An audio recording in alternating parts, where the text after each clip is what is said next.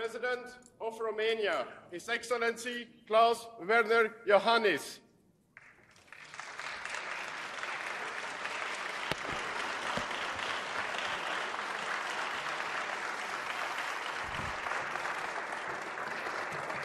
Dear colleagues, dear colleagues, we have the President of Romania, Klaus Iohannis, with us uh, today. Dear President, dear Klaus, welcome to the European Parliament. Thank you for accepting our invitation to address this House as part of our This is Europe series of debates. 17 years of European Union membership have been transformative for Romania and for Europe. It has given new impetus for businesses, for industry, for science and academia. It has brought reforms and social benefits. It has brought opportunities for people and levelled up communities. EU membership has meant protection for people's rights, for social justice and the rule of law. And in times of geopolitical change, these European values must be defended. Dear President, I would like to particularly thank you for your country's unwavering support for Ukraine and for the Republic of Moldova, particularly now that EU accession negotiations have begun. Thank you to Romania for always being the champion the people of those nations needed. Romania has a, a special place uh, in my heart. It is a country that has embraced what it means to be European. At the height of the pandemic, Romanian doctors flew to hospitals in other member states to help. When we faced devastating natural disasters, Romanian firefighters left their country to run into the flames. In the first days of the brutal Russian invasion of Ukraine, Romanian families rushed to the border to comfort those fleeing. So mulțumesc pentru tot, Romania. Mr. President, yours is a country that has shown how to overcome challenges and how to lead. Europe is stronger thanks to Romania, thanks to your reinforcement of the EU's eastern flank. And we will be stronger still when you finally take your rightful place in the Schengen area and join the Eurozone in the future. And you will find this House on your side on that journey. Last word on the 9th of June, over 19 million Romanians will be called upon to choose the 33 members uh, of the European Parliament elected to represent them. We must work together to make sure people understand why they must vote, why it is important. Their voice matters for the European Union and Romania's future. And we must keep listening and keep delivering. Dear President, dear Klaus, the floor is yours. Thank you so much,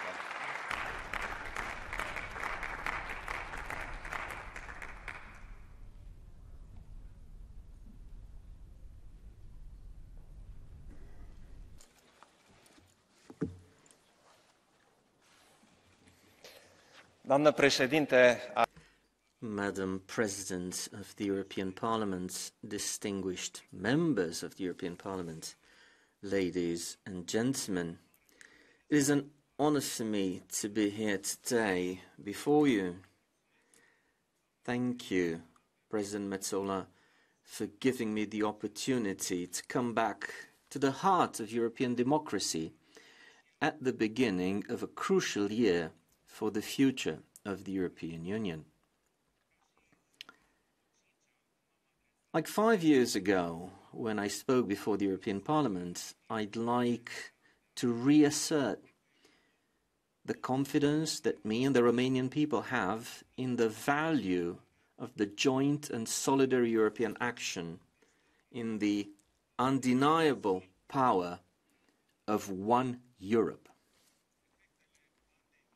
The effects of the pandemic the Russian war of aggression against Ukraine, the conflict in the Middle East, these are but a few of the dramatic developments which, in recent years, have put to the test not just our response capabilities, but also our sincere attachment to the Union and to the values, and the principles that hold us together. Ladies and gentlemen, my country is probably one of the best examples of EU's power to bring about change. Accession has brought us undeniable and most concrete benefits. European funds received by Romania since the moment of accession have allowed us to carry out essential infrastructure projects. More than 600,000 young Roma Romanian young men and women have participated in the Erasmus program, thus embracing the European way of life. The Union is a space of safety, protection, prosperity, and diversity. Par excellence, the European Union is an area of free movement. The elimination in March of air and maritime border checks must be naturally and quickly followed by the elimination of land border checks.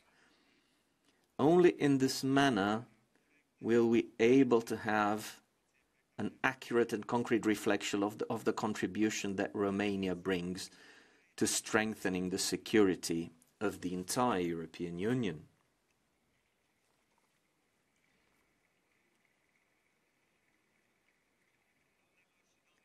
Ladies and gentlemen, the European project needs every day attention, effort, patience, and honesty if we want to live free in a united and prosperous Europe. Today, Romania is a strong promoter of coordinated joint action in the spirit of European values. It is our responsibility to support a Europe that takes forward these principles and values, also in regard to our friends in the European neighborhood who have chosen our model of democracy, our model of development. And the key moment of this process is represented by the very European elections. The priorities that we shall define together in the aftermath of these elections will come to help us to provide a pragmatic response to the challenges of the present and better prepare us for the challenges of the future. Our union faces unprecedented geostrategic challenges. Our future and the future of the next generations depend on each and every decision we are taking now on a global level, the rules based international order is being challenged over and over again. Russia pursues its aggression against Ukraine. Around the Union, instability and insecurity have reached alarming levels. The open conflict in the Middle East, the situation in the Red Sea, and the worrying developments in the Sahel all these have a systemic impact on our own security. Climate change, economic difficulties, and illegal migration continue to generate their own negative impact, adding to the complexity of global dynamics. On top of all these challenges, we witness a crisis of values and as far as I see it, a crisis of public trust in our institutions. We are indeed facing an erosion of values within the European Union, which fuels the perception of decline of Europe, or at least of Europe's leadership and global role. This is why we need to do more to promote the feeling and the certainty that we are all part of the same community of values which must be protected by every single one of us.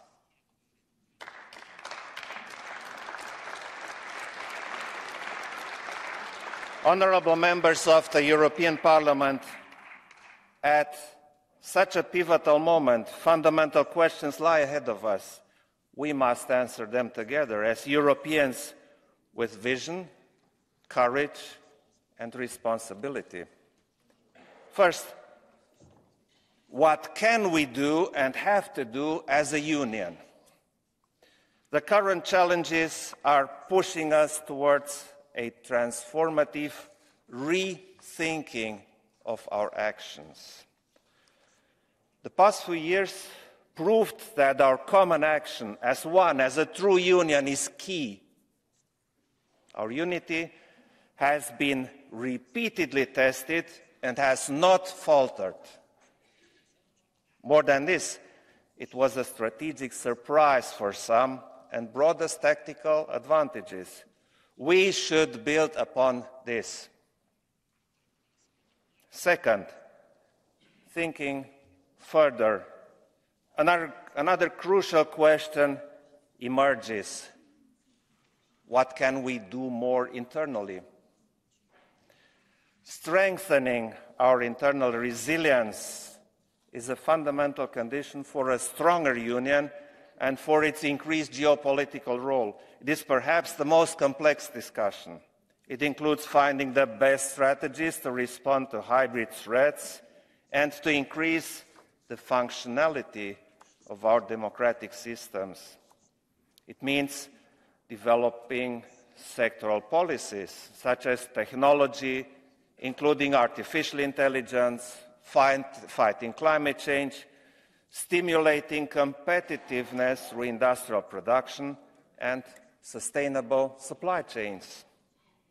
I do believe that the success of the demarches in these areas depends on a strong single market, which can provide solutions to many of the problems we face, encouraging creativity and large scale development. We, as a union, are now taking unprecedented steps to move away from a reactive approach in consolidating our internal resilience. We are taking action in terms of strengthening our internal capabilities, such as infrastructure, green and digital transitions, civil crisis response, energy efficiency, and supply chains. Another obvious line of action is to continue to support Ukraine. We must stand by Ukraine and its people.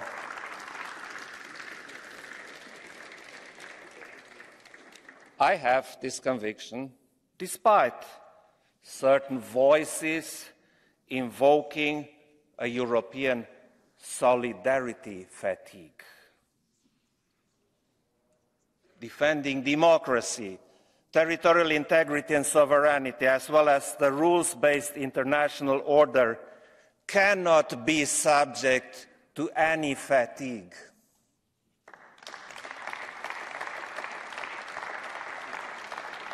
Romania remains engaged in this common effort.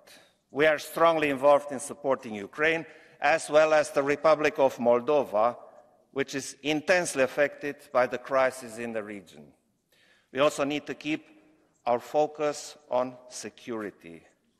We are now moving towards a joint long term planning and increased convergence in the field of European security and defense, while working in full complementarity with NATO it is indeed high time to deliver on our European ambitions when it comes to our defense industry.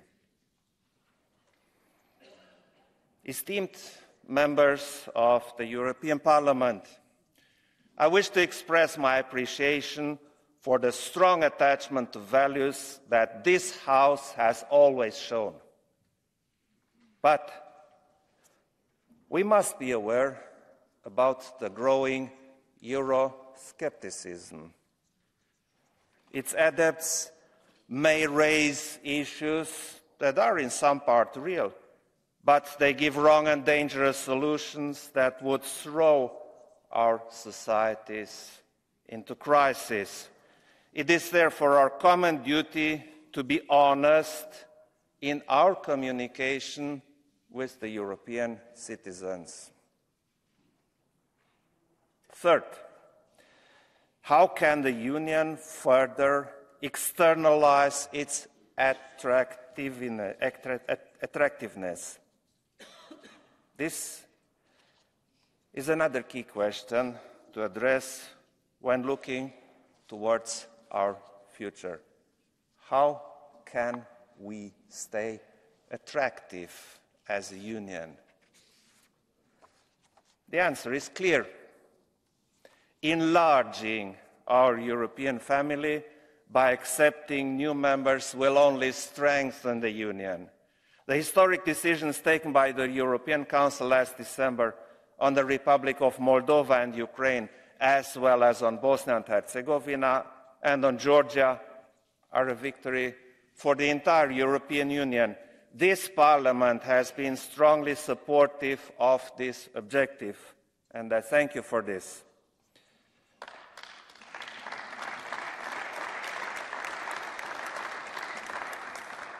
Romania, and I personally, have strongly supported and promoted it.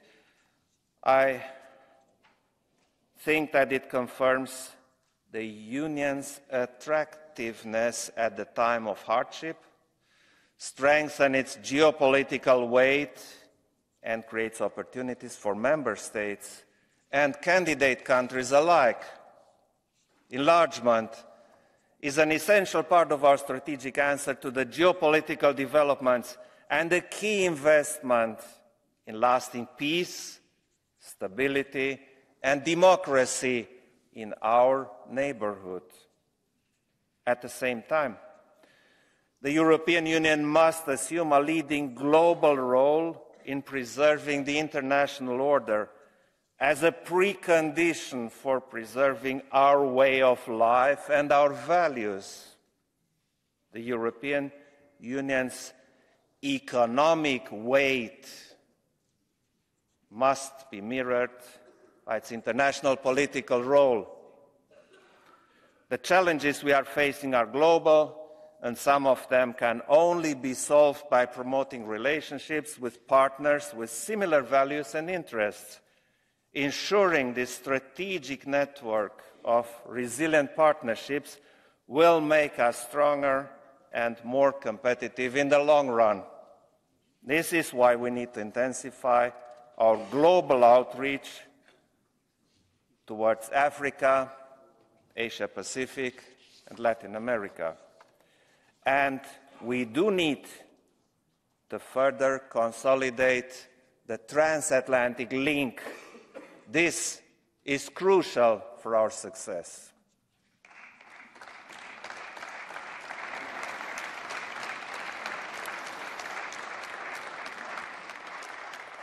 Two last questions.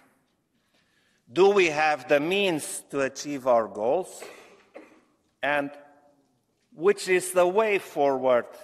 And what is the future of the Union? The Union has the legal and institutional instruments to achieve its goals, and the response to the pandemic and the crisis that followed is illustrative.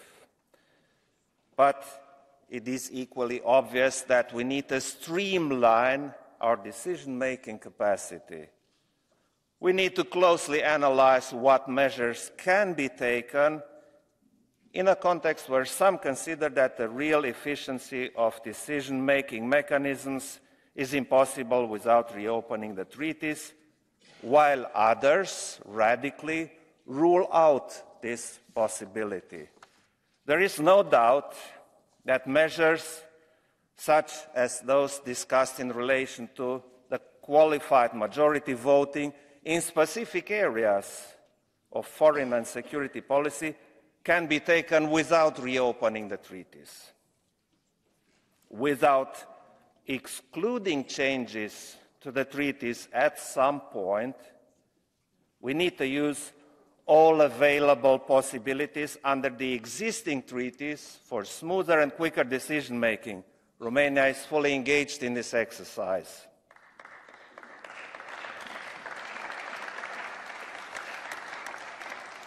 Honourable members of the European Parliament, despite the views of some, we are stronger now than five years ago. We showed remarkable unity in probably the direst circumstances we had to face as a union. Nevertheless, we have a lot of work ahead of us. Our European common construction is, after all, work in progress. As stated by Jacques Delors, the visionary European leader that, whom we recently paid homage to, I cite, the European model is in danger if we obliterate the principle of personal responsibility. I close the quote. Therefore, dear colleagues, it is our shared responsibility to do the best for all our citizens. We have a special responsibility towards our youth. The future generations are looking towards us with hope and optimism in times of geopolitical volatility and socio-economic distress. The future of Europe is about the capacity of the Union to give them honest answers and to deliver in education, health, prosperity, climate security, and employment opportunities.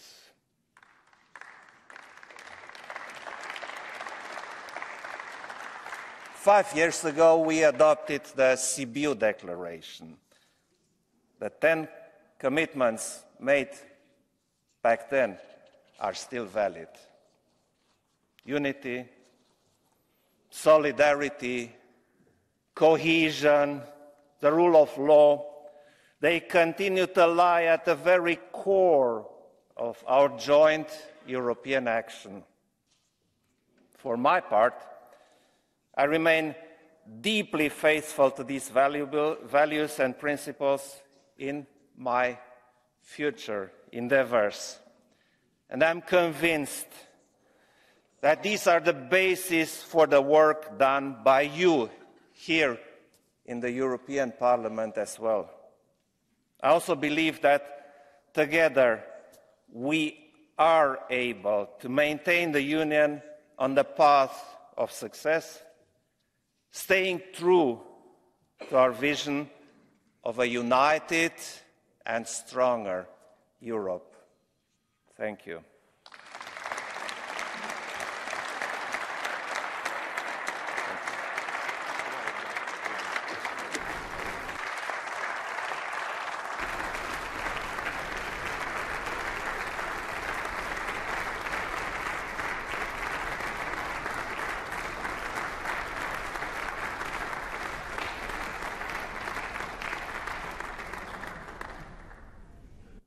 Much, President. As you can see, the colleagues have very much appreciated um, your speaking um, points and your speech. I start by, now by giving the floor to President of the EPP Group, Manfred Weber.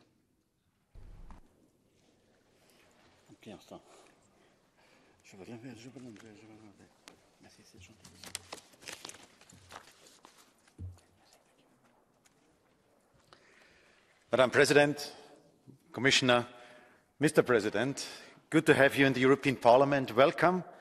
And I want to start with a quote.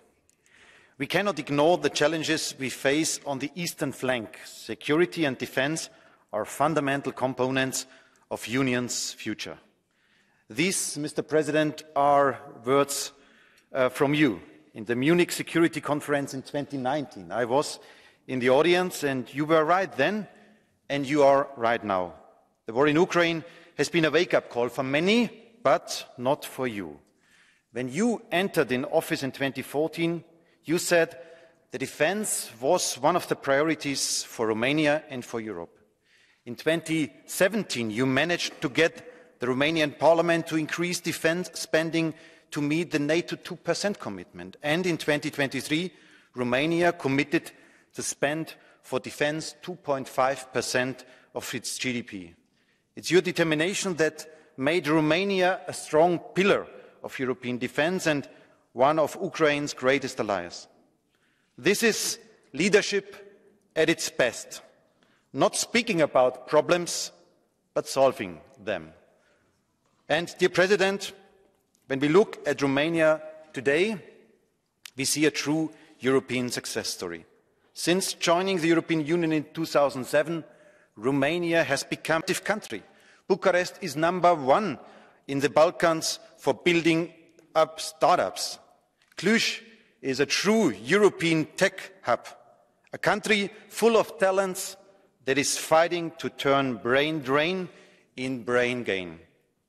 Dear Mr. President, great leaders are not only great at national level, but they are also great on European level. And you, you also remember, remembered us uh, that in the Sibiu summit in 2019, the first EU summit to be held on a Europe's Day, you got all leaders to agree on a Europe that protects its citizens. You have advanced many EU defence initiatives, always working for a strong EU pillar in a strong NATO. You started many strategic discussions on enlargement. And it was also your strong voice in the European Council that made it possible to opening the accession talks with Ukraine and Moldova last December. Europe owes a lot to Romanian leadership, and Romania owes a lot to your leadership. You showed to Romanian citizens that a modern, a pro-European Romania is possible and is successful. And I want to also thank the Romanian Commissioner, Adina Vălean, and all Romanian colleagues in the plenary who served also to this broader perspective. And, dear President, for us as EPP, there is also no doubt that it's now also time that Romania must fully join the Schengen area. You have been ready for 13 years on this subject. If planes, dear friends, and ships are crossing borders without inspection, why should cars and trucks have to wait in endless lines? Romania and Bulgaria must mean Schengen. It's good for the security, it's good for the business, and it's good for our citizens. In the middle of the Brexit crisis in 2019, the spirit of Sibiu was fresh air to relaunch Europe. Now, five years later, if I may say this from an EPP point of view, the EPP family will go to Bucharest for the Congress, will go to Romania to kick off our campaign and to kick off the campaign for the European elections. And once again, Romania is the place to shape a safer home for all Europeans. Thanks for your leadership. Thank you, Mr. Weber. Now, on behalf of the S&D Group, Juan Fernando Lopez Aguilar.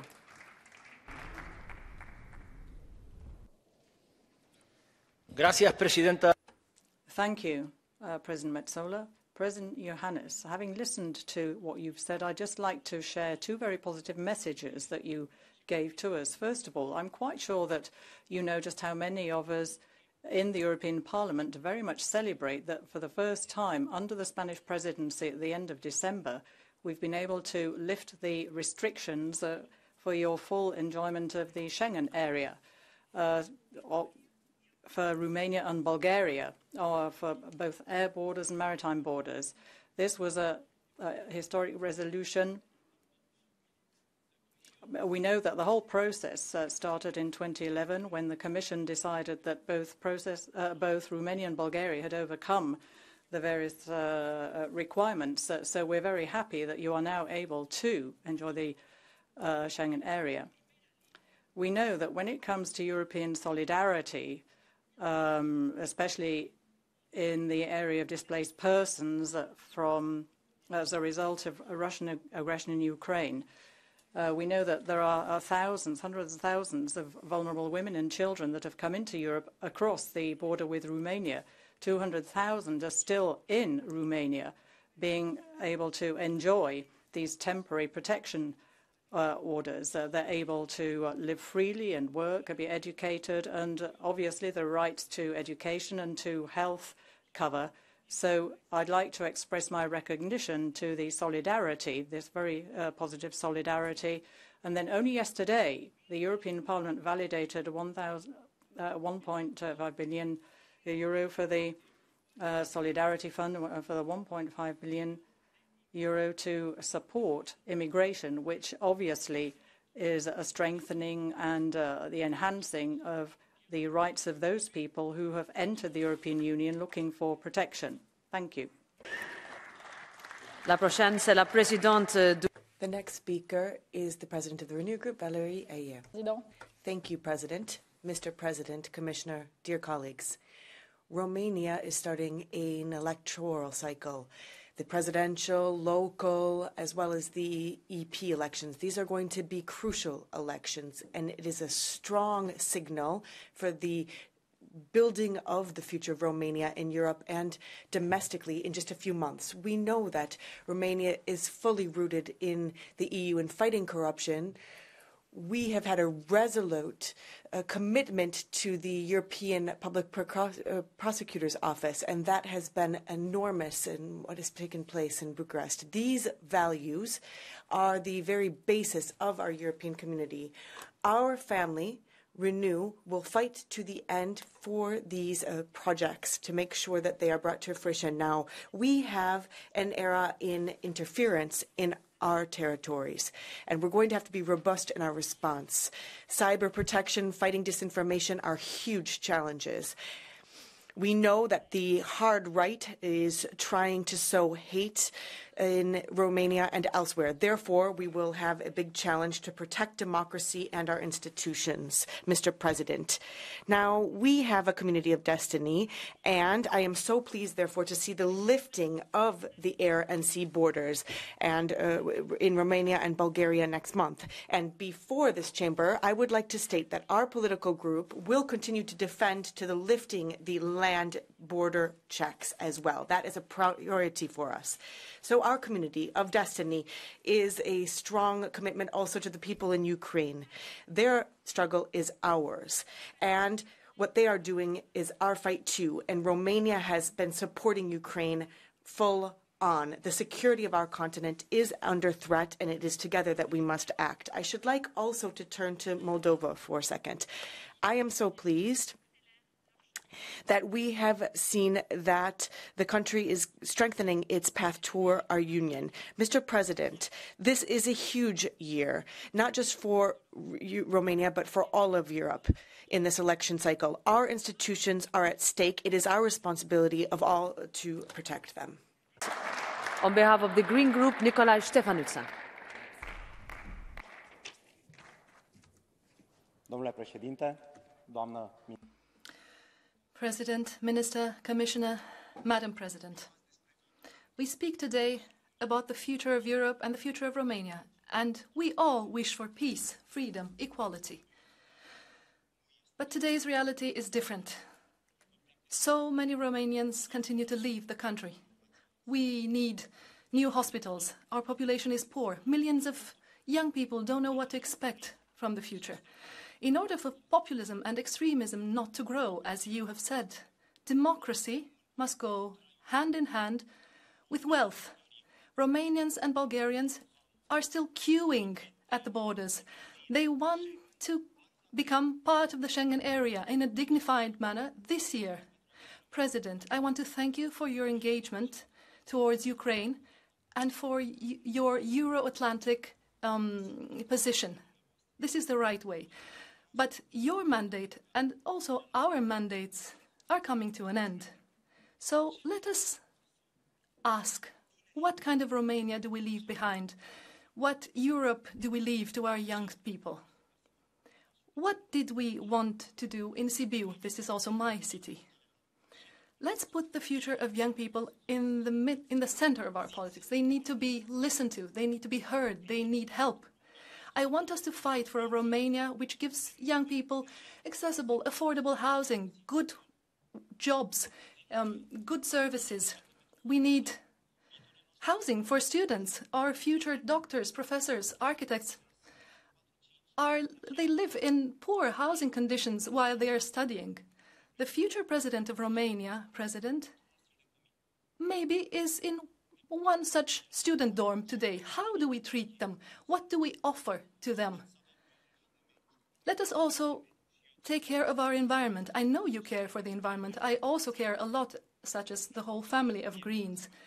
We need a greener Romania with clean cities, with fast trains, with healthy food, with more respect for nature, for the soil, for bees, for animals.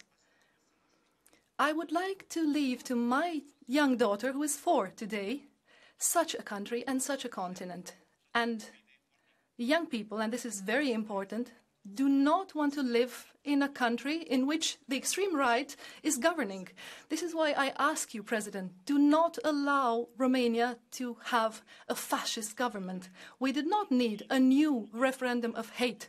Europe leaves, loves the human rights and the human right to love whoever you wished to. And Romania must ensure that it will not allow the agents of Russia to uh, create policy for Romanians. Emil Cioran said, the past of Romania is not flattering. I am not proud of the fact that my ancestors have slept for so long waiting for freedom. Today we are free. We do not wait for freedom, but we will not give in to extremists. We have what we need. We have resources. We have our heart. Our heart beats for Romania and for Europe. Thank you. On behalf of the ECR group, to Cristian Terheș.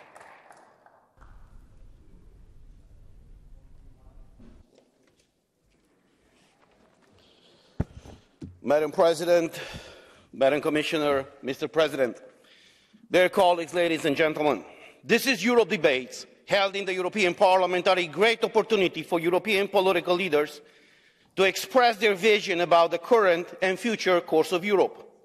I congratulate, therefore, the Romanian President Klaus Iohannis for sharing his vision about Europe and emphasizing the importance of Romania for the European project. But since the emphasizing the importance of Romania for the European project. But since the debate is about Europe, before we talk about what Europe is, it is imperative to look back and see what Europe was, how this project started, where it is heading, and if this new direction has anything in common with the initial project. When Madame von der Leyen held her speech in this plenary in 2019, she said that the European project is based, and I quote, on the Romanian law, on the Roman law, and the Greek philosophy, end quote. She forgot one, and the most important pillar of the European project, the Judeo-Christian values, civilization, and culture. It was the Christian belief and the Judeo-Christian values based on the Bible that gave the power and the motivation to many political leaders from different European nations, which killed, destroyed, and decimated each other during the Second World War to meet after the war, pray together, forgive and reconcile with each other, and come up with an economical and political, political plan that would and brought peace through prosperity. Because of these visionary, faithful, and courageous political leaders, the Western Europe was able to achieve peace and hold it for over 80 years, which was unprecedented for Europe.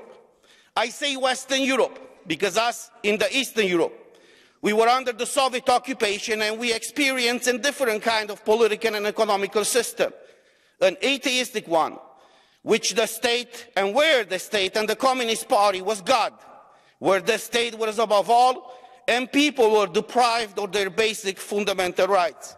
The difference between the two political and economical systems that Europe experienced after the Second World War the European project that we witness here, which evolved in the European Community and Union in Western Europe, and the USSR and the Soviet Marxist and Communist model in Eastern Europe, it's exactly the pillar that was, intentionally or not, forgotten by Madam Ursula von der Leyen, the Judeo-Christian values, culture, and civilization.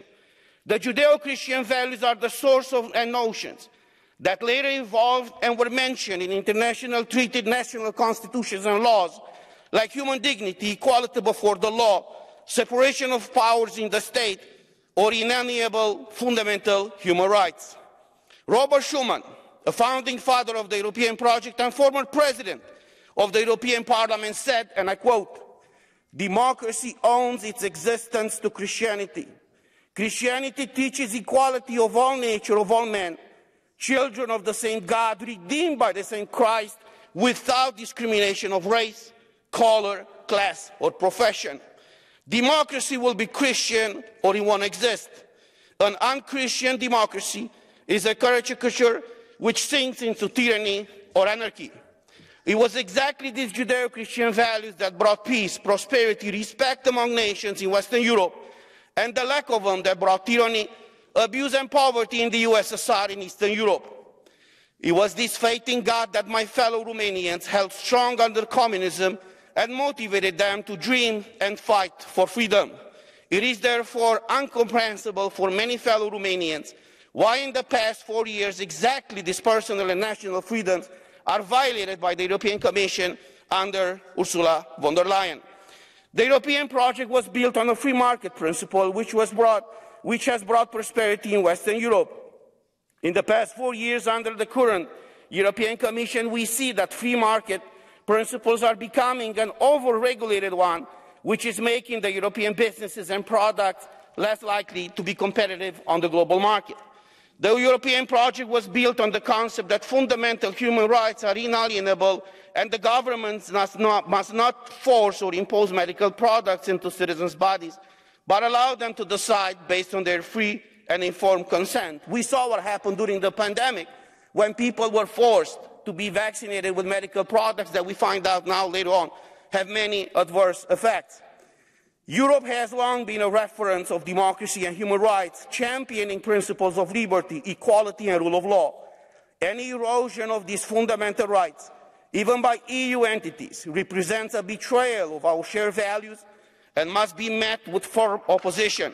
The Romanian nation, which I most proudly represent, was able to overcome any challenges during history and become today one of the fastest growing economies you, in Europe. We did it through Thank faith you. and fight Thank for you, freedom. you. Thank you. Next, ID Group, Gunnar Beck. Two and a half minutes. Thank you, President, Commissioner, Your Excellency. Romania's motor insurance industry has been in turmoil in recent years. Twelve companies providing motor insurance have been driven out of business in just 12 years. 12 insurance fails in 12 years should raise serious concerns about the regulatory environment in a member state. In 2019, the Romanian insurance regulator, ASF, asked Euroins Romania to buy the then failing city insurance. Just three years later, ASF suspended Euroins's insurance license in Romania, apparently for questionable reasons. This was Romania's last motor insurer gone. Last year, the European Bank of Reconstruction and Development raised questions with the Romanian finance minister about the actions of ASF and submitted a resolution proposal to your predecessor to no effect. The European insurance watchdog EIOPA wrote a report about the Euroins affair. In a reply to my written question, the European Commission claims it never saw the report. To date, I'm denied access to the full details of the EIOPA report. What are ASF and EIOPA trying to hide from the European Commission and members of the European Parliament? One observation following the decision to strip Euroins of its license, ASF awarded a license to Aizi Azigurari, a subsidiary of Superbet, and who's the chairman of Superbet, one of Commission President Ursula von der Leyen's brothers. Your Excellency, Romania is one of the largest net recipients of EU money. You're receiving 10 billion euros from the European budget and the Next Generation EU Fund. According to the Corruption Perception Index of Transparency International, You're the second most corrupt country in the European Union. Now, none of this is ideal for a country hoping to attract foreign investors. What I'm asking, are you proposing to do about it? Thank you. I give the floor now to Claire Daly on behalf of the Left Group.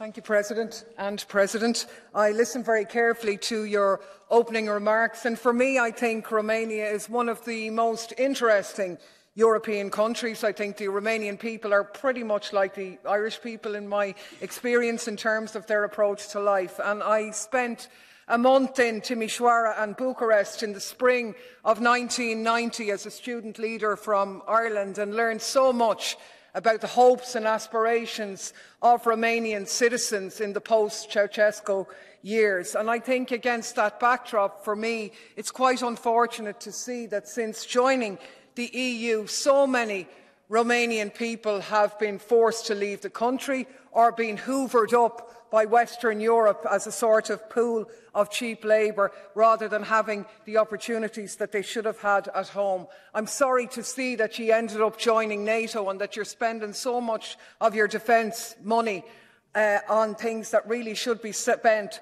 on making people's lives better. And I am sorry to see cases such as the one highlighted by my colleague about the very, very serious problems and questions that remain to be answered regarding the operation of the Romanian regulator, the ASF, because of the consequential impact not just on your own uh, drivers but also across the EU motor insurance sector. And I too am one of the members of this House who for many months now have been raising questions about that regulator's decision to withdraw the licence to Euroins Romania, which is obviously part of the largest independent insurance group in Central Eastern and South Eastern Europe. Now, I know you know about that case, Mr President, and not just because my colleague raised it, but it is beyond curious that the Romanian regulator acted against this company three years after requesting them to take over city insurance. Why did they do this? It is a fact that both the Bulgarian financial regulator and the European Bank for Reconstruction and Development queried what your regulator was up to. Both of them approached the European authorities one of the organisations produced a report cautioning against the consequences of this. They even produced a resolution proposal which would have mitigated the impacts, but nothing happened. And your country faces exposure to a 500 million euro lawsuit, uh, not to mention the broader impact beyond. So I suppose Having brought this to the attention of the European Insurance and Occupation Pensions Authority, who are supposed to mitigate these um, issues but who have failed to produce the report for members of this Parliament. It's being withheld from us. I'm deeply concerned about the security around this case. So I suppose my question, Mr President, is really quite a simple one. In the interests of the citizens of Romania and beyond, would you join us in supporting our call to the European Commission to initiate a comprehensive and independent review of this case? I give the floor now to Ioan Rareș Bogdan, one and a half minutes. Dear Roberta, domnule președinte, excelențe. Mr. President, uh, Madam President, Your Excellency, Your Excellencies, I have had the privilege to listen to the analysis and the vision of a real statesman, Klaus Iohannis, the President of Romania of the last nine years, voted twice twice in office uh, by over uh, 7 million uh, Romanians. This man has a, a, a vocation for the European construction. It's not just a speech. This is Romania, dear colleagues, the most important country to secure to, to give us security on the Black Sea. Uh, we have a, a huge uh, border with Ukraine. Over 7 million uh, Ukrainians have taken shelter in Romania, fleeing war over the past two years. And, and Romanians never closed their borders, were never hostile towards those who were trying to save their lives and the lives of their children. On the contrary, on an institutional level, led by President Iohannis, and on a personal level, each and every person opened their hearts and opened their homes to refugees. We are not the richest in Europe. We're not the ones that receive the most help, but we uh, are the most hospitable, perhaps. And this is Romania. This is Romania, an honest country. We um, uh, have uh, we are under attack uh, by uh, this uh, um, Russian dictatorship who hates democracy. We're, we are um, under cyber attack, and he's trying to corrupt voters and to destabilize Romania and its European path. He's trying to to destroy our values, but Romanians will stay European. President Iohannis will uh, fight until the last day of his uh, term in office to make sure that things uh, um, remain the way they are. We have a huge en energy potential, and the investment and the investment in this country will uh, make the uh, Europe's uh, energy efficiency hang in the balance. And we are a rational state, pro profoundly pro-European. And I would like other countries to follow our lead. We have a president that managed to uh, to promote the, uh, his country's interests without uh, jeopardizing the interests of the region. Um, and the and in Romania, there's a song that was sung first 150 years ago, uh, and this in this song, Hora Unirii, it says, uh, if the one person is alone, uh, we are alone, but if we have two people, then we're united. And in these hard times, uh, this could be our motto. This could be the, the um, uh, anthem of Europe right now, Hora Unirii. Maria Grapini next. Uh, one minute. one minute, one minute. It will start. Doamna președintă, dragă... President, dear Roberta, President, Minister, First of all, I want to thank you for describing my country in such a beautiful manner, and it is true. And dear colleagues, the ones who tried to defame Romania, I want you to try to understand it, to visit it, and talk to Romanians, and then you will understand. I want to be objective. I want to speak about the issues that we have raised in front of all uh, heads of state. I want to ask you, do you really like the way Europe looks what Europe looks like right now. Do you think we could have done more? Do we really have social cohesion? Um, I am in the um, IMCO committee and I refuse to say single market, which you have said, just as uh, Commissioner Breton, because I believe we do not have a single market yet, and this is what we must fight for. I am finishing my second mandate and I am quite disappointed because we do not have a single market and Romania is not in the Schengen area. And then, do you think it is fair that the CAP is the CAP fair? Why do we not have fairness for such a long time? We have so many farmers in Europe who are protesting. Why are they not rewarded in the same manner throughout Europe? I think these are problems that could have been solved um, in these years. And even even as we finish our mandates, we must continue our efforts because we know in the Council is the Council is where decisions are taken. I thank you and I congratulate you. Two minutes. Dear President, domnule președinte, Mr. President, uh, election year 2024 is crucial for Europe because the values on which uh, it was built and have worked so far are under siege from extremism, anti-European feelings and disinformation. This is why, in order to keep democracy alive, this year's debates need to be relevant for citizens' daily lives and not so much so for the survival of political parties or some political leaders. For Romania, the challenge is even greater. We have all of our elections uh, this year happening this year. This can lead to a um, complete reset of the political establishment in Romania. And uh, although we have uh, uh, made uh, slow steps on the European um, uh, path, Romania uh, is now a, an eastern pillar of the Europe, and thanks to our society, and Mr. President, you are the last political actor to step out uh, after the elections this year without uh, anything at stake until then. You have a duty to uh, communicate to our citizens how important it is for us to belong to the European family. This is a complicated year with uh, a lot of um, populist challenges, and I think you can do this in a credible way and clear way. Romania and the European Union cannot slip uh, into extremism without solutions. Uh, and all this uh, election um, pressure um, makes us uh, wonder what kind of leader our citizens, our Romanian citizens and European citizens expect today, because after many disappointments, the Romanians um, feel that the leaders are disconnected from them. They don't uh, talk to them in simple, clear ways, even when they do talk to them. And the effort to build bridges again in our uh, crisis-hit uh, society uh, is going to be huge. And but what is at stake here for us and for the Union is also huge. The farmers, uh, uh, youth without uh, a future, um, citizens that have been forgotten in small uh, towns need to find their motivation again and to be committed for with a vision for the future where Brussels and Strasbourg are on their side and not their enemies in their imagination. Grunenberg, one minute. This is Europe. Das ist Europa.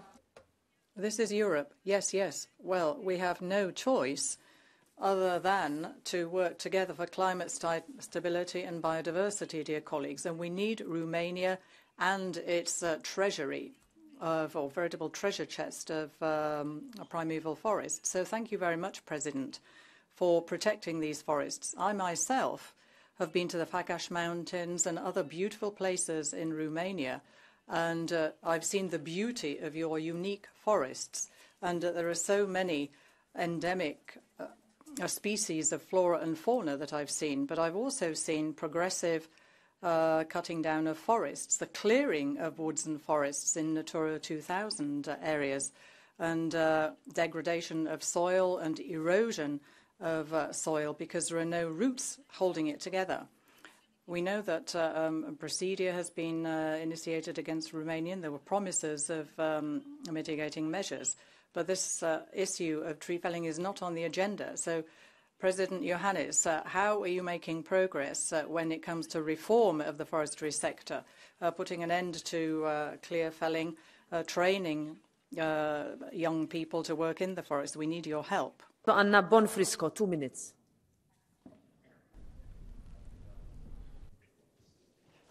Thank you, Chair. Signora Commissaria. Madam Commissioner. President Iohannis, sir, in March, you will guide Romania into Schengen. It's a historic moment, and it will make your country and the European Union stronger. And I would like to state that Italy and Romania will also be strengthening their historic economic, social, economic, and cultural links that are based on the Judeo Christian values. There are more than a million Romanians living in Italy, and 19,000 uh, Italian companies exist in Romania. We are growing together. We are also linked via NATO, Sea Guardian, in the defense of the Mediterranean. And in Schengen, it, it gives strength to our uh, union in political and judicial cooperation in fighting criminal organizations, giving security to the EU and our allies, as Romania very generously welcomed Ukrainian refugees. I'd also like to welcome this possibility to speak to you, sir, to draw attention to perhaps a minor issue, but linked to the illegal trafficking of animals and mistreatment, one of the major funding sources for international cr criminal organizations. We must fight together within our history and our friendship that we have seen, and to have the most uh, authentic uh, demonstration of Europe via fighting this. Thank you.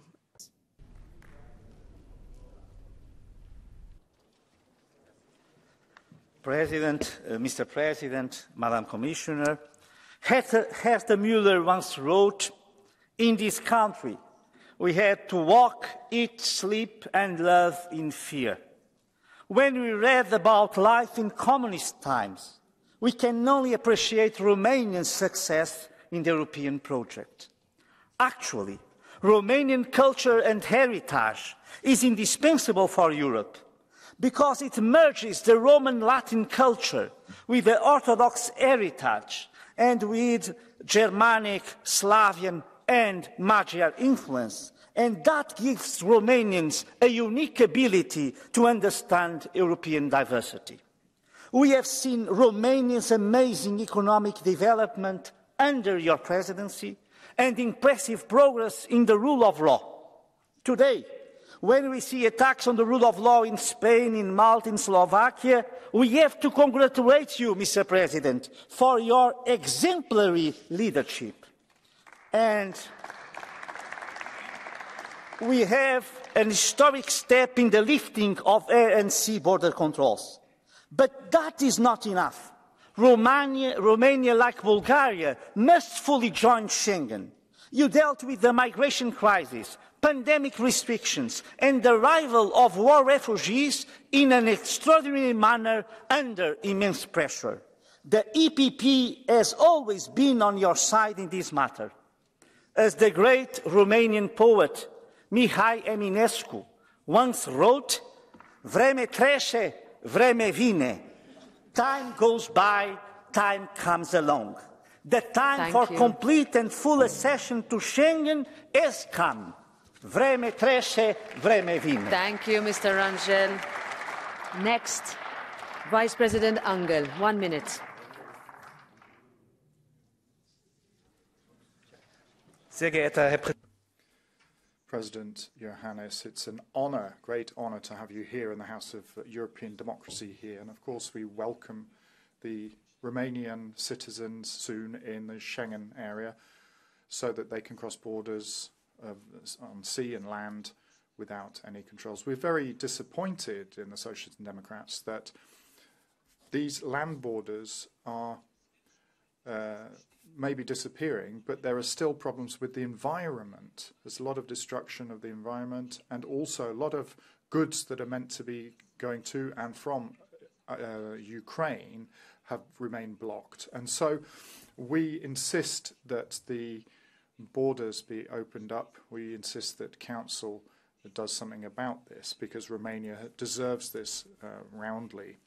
We want to continue to strengthen our European project by doing this. President, we're facing huge challenges.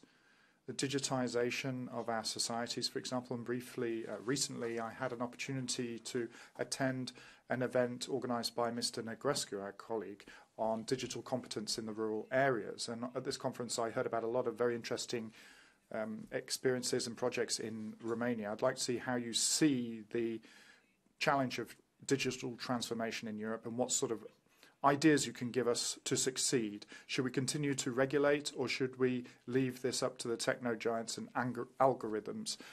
Marius Botoș, two minutes. Thank you, Madam President Metsola, dear Madam Commissioner, doamnă ministru, stimate domnule Madam Minister, Mr. President, uh, I am honored uh, that the President of Romania uh, is giving a speech before the European Parliament in Strasbourg. Romania, neighbors, uh, Ukraine and the Republic of Moldova, where Russia keeps uh, trying to exert its influence. Uh, we are a Black Sea uh, country where the um, war is affecting all the countries in the area. This is why it's paramount that Romania stay a democracy built on European values. This is Europe. This is a topic at hand. And Romania is part of the EU, has been part of the EU for 17 years. And we see uh, how Romania is developing, is becoming more modern. And the 90 billion uh, euros from European funding have helped this tremendously. But also the fact that Romanian citizens uh, uh, have access to the European culture and life, even though we're not still fully, fully fledged members of Schengen. And we need to step on it here. And I'm very glad that you have said it in no uncertain terms here in the plenary. Romania has shown that it has the European values in its DNA and that it's promoting these values, even when Romanian politicians have taken wrong, have made wrong decisions. The citizens uh, have been staunch protectors of, the, of, democracy and the rule of law and uh, uh, European values. Romania is the rule of law, and this uh, is very important for the lives of each and every uh, citizen. We all have a set of rules, and no one, no matter how uh, high the, the position, is above these rules. And speaking of rules, rules are the rules even in an election year. And the trust that uh, EU citizens have in, EU, in the EU institutions will grow if we manage to talk to our citizens in an open way and explain to them step by step not only what they can do for Europe, but what, the, what Europe is doing for them on a daily basis. And we won't be able to do this uh, if uh, the debate in Europe, uh, in, in Romania, is going to be skewed. One minute. Thank you, President, and thank you, President Iohannis, for sharing your perspectives on our common European future. Very often this House is used for national debates, even from prime ministers and presidents, so I'm very thankful that you shared your vision for what Europe should look like. So let me ask you quite concretely, when do you think can we have an improved decision-making in the Council? When will we move to qualified majority? When can we actually change the treaties? I would love to hear an answer on that. And then second, we have a great moment of European democracy coming up uh, with the European elections. But looking at the different countries and also at Romania, I do see inhibiting factors to democracy, such as the amount of signatures you need to collect to be able to run as a party, such as the fact that you can, I think, only be, or you have to be 23 to be able to be a candidate. These are all things that could potentially slow down our democratic participation. So maybe a last question on this.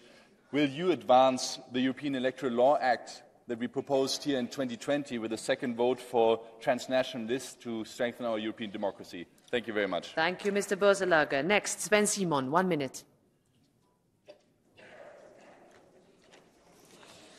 Frau Präsidentin. Madam President, President Iohannis, you are a president who, in his own country, has always pushed for reforms you stand by the rule of law. Your fight against corruption is exemplary. And it is a great deal up to you that Romania will be part of the Schengen Agreement. This strength of reforms, ladies and gentlemen, is something that we now need at European level. The European Union was founded to protect Europeans from each other, and now we need to further develop it to protect Europeans against the rest of the world. The European Parliament has pushed for proposals for reform to make the European Union more able to act in the future. The Council is having difficulties coming up with an answer to reach a decision on a convention. You, President, mentioned that there's a lot that we could change without changing the treaties. But if we really want to overcome the internal opposition and improve action outside the European Union, we need a European convention, and I'd call for your support for the convention of that convention. Tudor Ciuhodaru, one minute. Mulțumesc. Thank you. In order to tackle global challenges, we must first tackle our own challenges at home. We are faced with global crises and challenges, but we seem to have forgotten the people who are next to us. We have lost the contact with those who we, we represent here. The dissatisfaction of Romanians is growing, and it is related to daily life. We see the protests of farmers and people in the transport sector, but the truth is that we are all affected by the crisis. President, we could have done more for Romanians. Honourable Commission, Honourable Council, you have often ignored the problems of my people.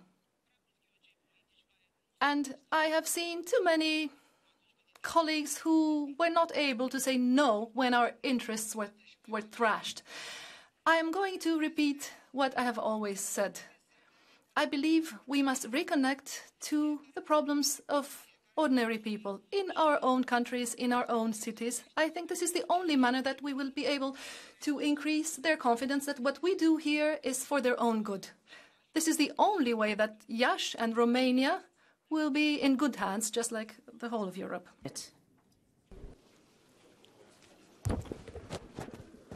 Thank you. Thank you, President. Iona Potkivanok.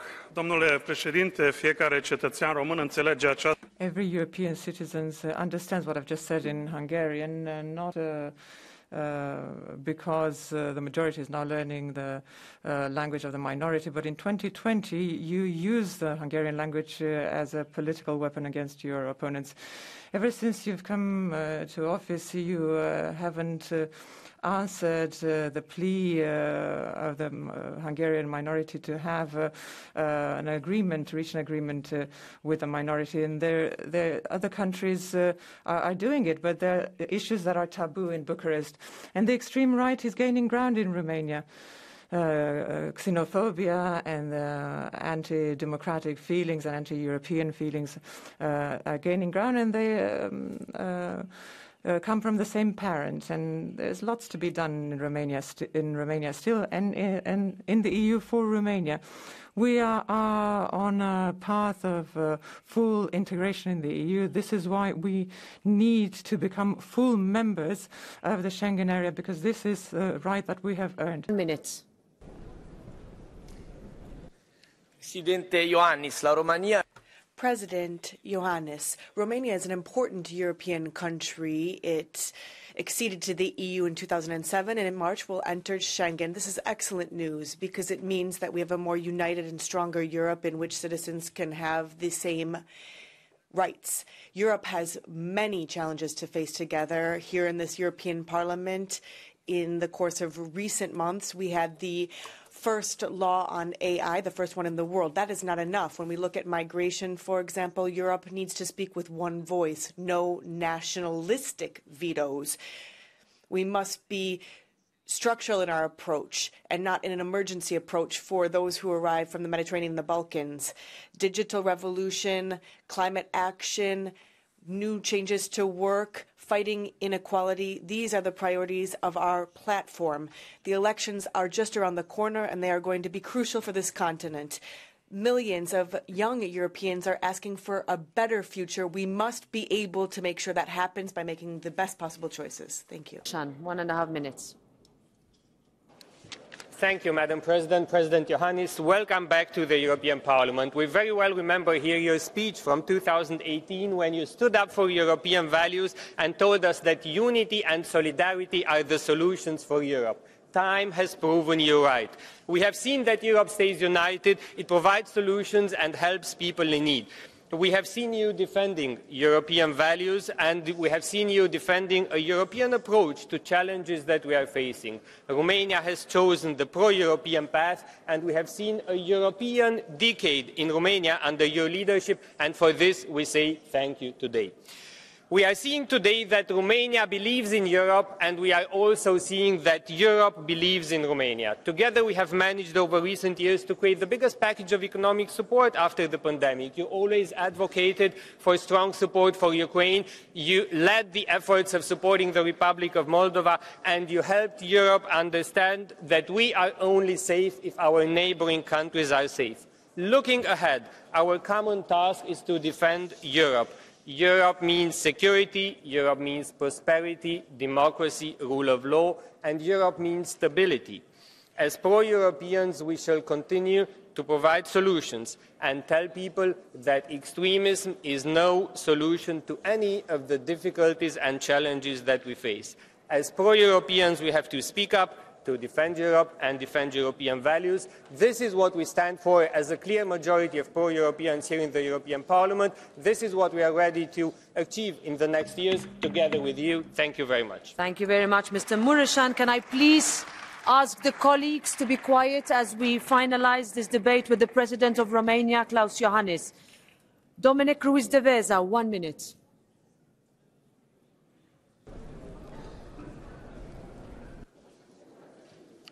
Muchas gracias. Yes, thank you very much, uh, President Metsola. And thank you also to President Iohannis for your words. I would like to congratulate you for your commitment to European integration and for your European spirit. And I would also like to thank you for having mentioned the institutional dimension in your presentation. I think it's only quite clear that if we have an enlarged Europe, and if we do start relaunching the enlargement process in the European Union, we're going to have to make sure that that is accompanied by a deepening of the accompanying processes. You have referred to the fact that we should not rule out a reform of the treaties, which is something I welcome as well. But I think we have to go a step further in that direction. You referred to the passerelle clauses. It is true these could be triggered because they are set out in the Lisbon Treaty to allow us to deal with more uh, issues uh, by qualified majority voting. But for the past 14 years, the Council has not managed to do this, and I very much hope that we don't have to wait yet another 14 years. So please support the European Parliament's proposal of reform of the treaties. Minutes.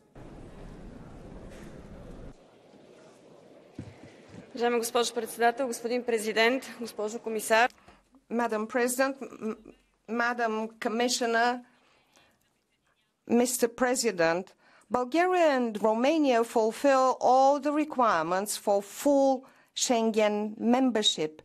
This has been repeatedly confirmed here in this plenary hall. Nevertheless, for political reasons, we are kept outside for more than 10 years, and this makes our citizens an inferior category of uh, Europeans who cannot enjoy the full range of their rights. So a partial uh, access is not success. Mr. President, what are the specific uh, actions you discuss with uh, Bulgaria to remove all the obstacles in our transport links. The discrimination against Bulgarians and Romanians cannot be tolerated. Dear President, thank you for your presentation today. Our two countries have similar histories, not just in Christian Orthodoxy, but we had dictatorships. You had a totalitarian country run by the Kremlin. We had a dictatorship run by the Pentagon. Today, we see clouds gathering over Europe. We have your elections.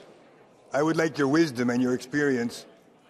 How do we convince the voter that the solution is not the extreme populace, but more democracy, that we need a new contract for the citizen of Europe? That's what I would call it a contract to complete the European project, something that most of the members here and the farmers in the streets feel has not been completed. So it's our duty and your wisdom, perhaps, in the answer to help us come up with the proper arguments to bring Europe of our dreams. Thank you. Thank you very much. That brings us uh, to the time for Mr. President to respond to a variety of questions and comments that have been made. Mr. President, you have the floor to conclude this debate. Can I please ask you, dear colleagues, to keep quiet? Thank you, Madam President. Honourable members of the European Parliament, thank you very much it is a privilege for me to speak to you here in the center of European democracy. Thank you for your very positive feedback. I thank the speakers of the political groups for their positions, and uh, I appreciate very much the positive and constructive approach in all the views expressed here. But let me thank you specifically for one issue most of all mentioned, which is the Schengen issue. Romania is a very determined, a very strong, and a very faithful member of the Union we really believe that the Union has to be united, strong, secure, prosperous. To make this happen, we have to finish the European integration of all the member states, including Romania.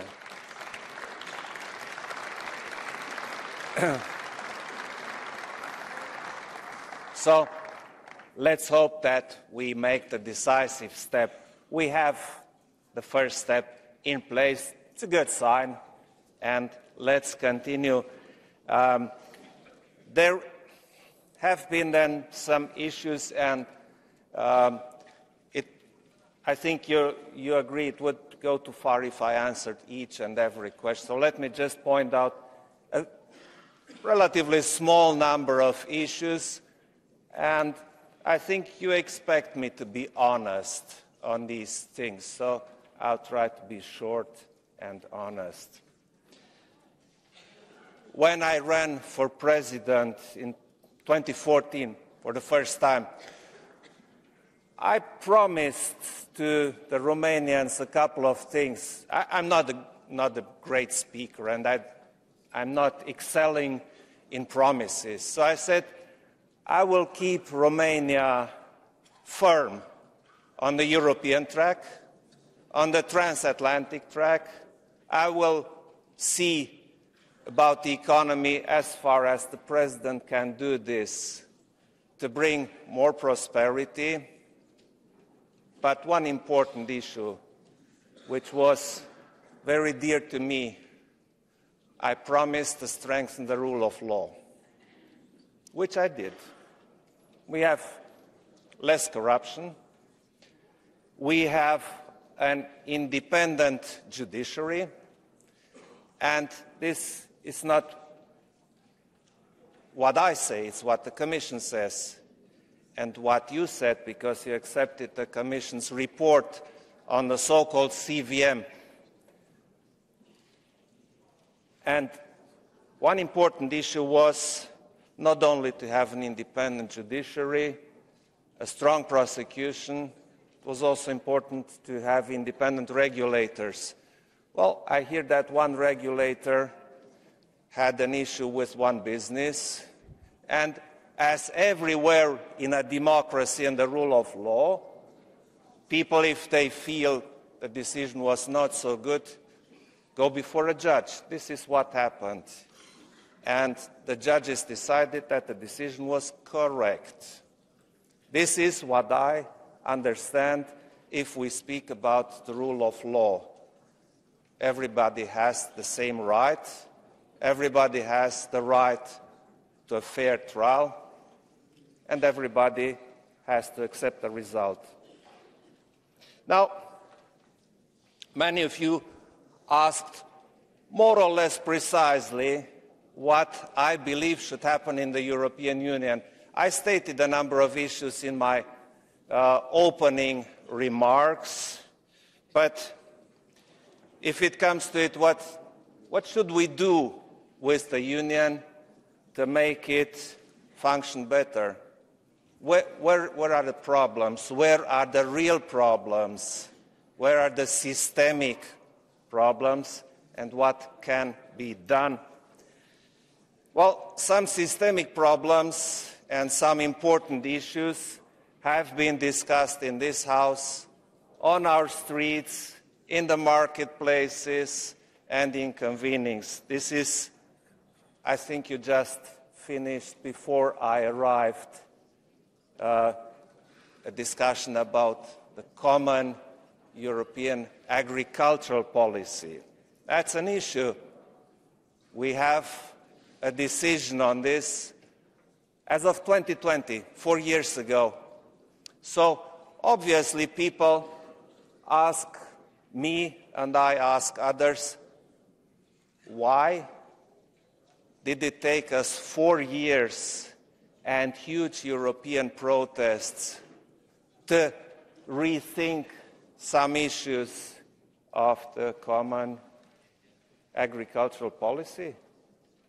Maybe could have happened faster. We are talking about the environment, about climate change. That's all correct. Personally, I'm very much involved in these issues. I am really convinced that we have to clim fight climate change, and I believe that we have to protect our environment, and we can do it. We proved it. We proved it in Romania, and we have a good policy in this respect, but we have to do more. Now we have the Green Deal, which is super. But let me tell you, if it is not sustainable, and if it does not lead to economic growth And if we do not take everybody with us, it will be a failure.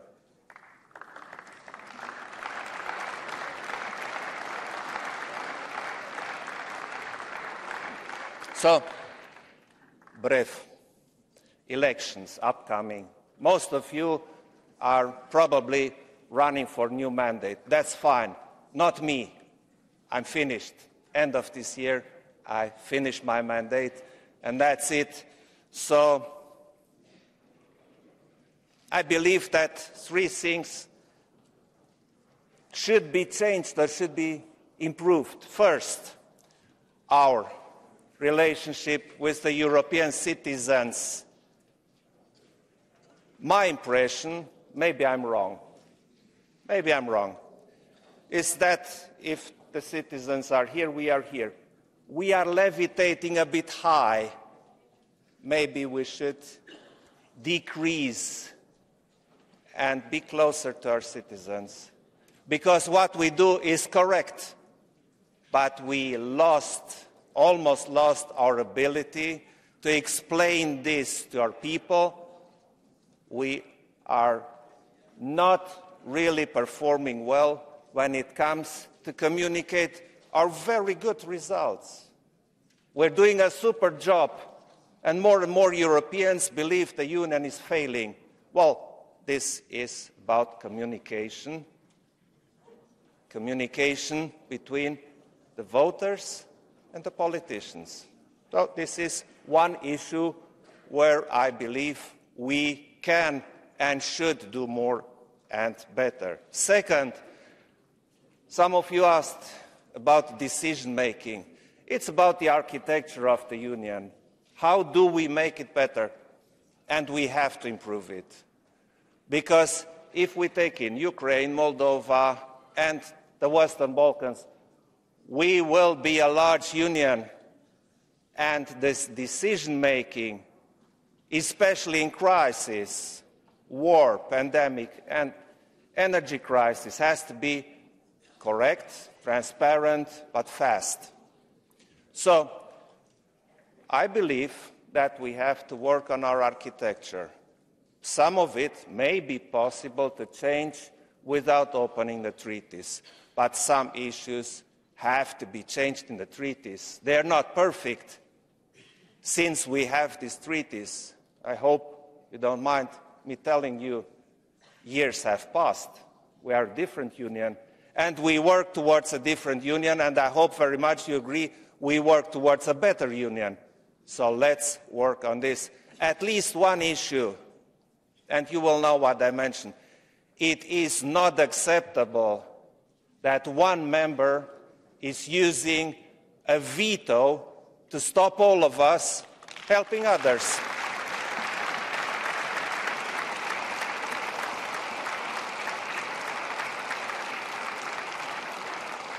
So if we're not in a position yet to generalize a qualified majority voting, which may be defined different than it is now, not talking about the details, but at least we should have the courage to say no veto and let's take it out of the decision making process. That's something very concrete we should do.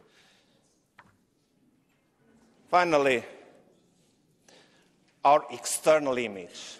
Well, I believe we have to be much better here. First, we have to integrate those who want to be with us and those we want to be with us. Ukraine, Moldova, Western Balkans, they try to become parts of, part of the, the Union, some of them for 20 years. I mean, are we serious? Are we? Do we want them? If we do, let's go. If not, let's say them no. But dragging on, you know very well, never makes things better. And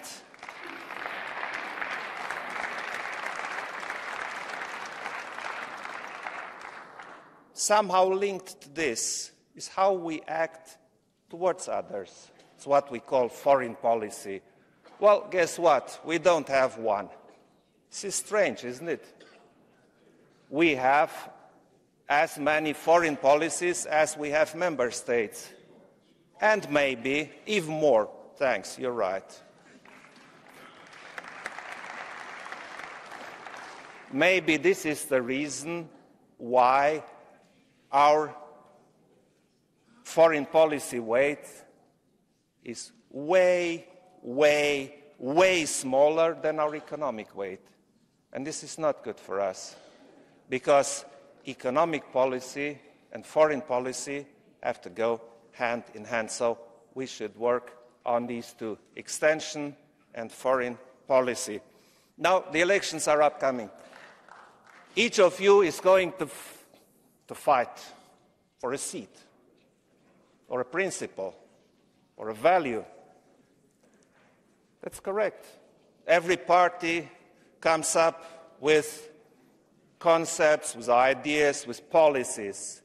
You will accuse each other of being, well, the wrong guys. You will fight for as many votes as possible. That's absolutely fair. That's the essence of democracy. Campaigning, profiling, trying to be the best. Please do so. You sitting here are the best. This is why you sit here. But please, if you fight each other, don't fight Europe. If you fight,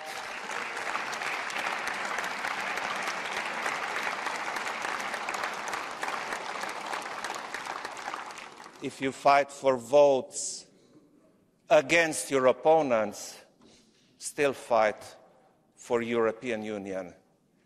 And if you fight with the other party and tell them they are not the right guys, please do not fight against the European solidarity, because without this, we are doomed.